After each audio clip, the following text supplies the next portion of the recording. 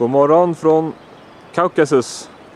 Här i lodgen Nasli Bolag har vi övernattat. Och vi är ute på lite morgonskådning så här före frukost.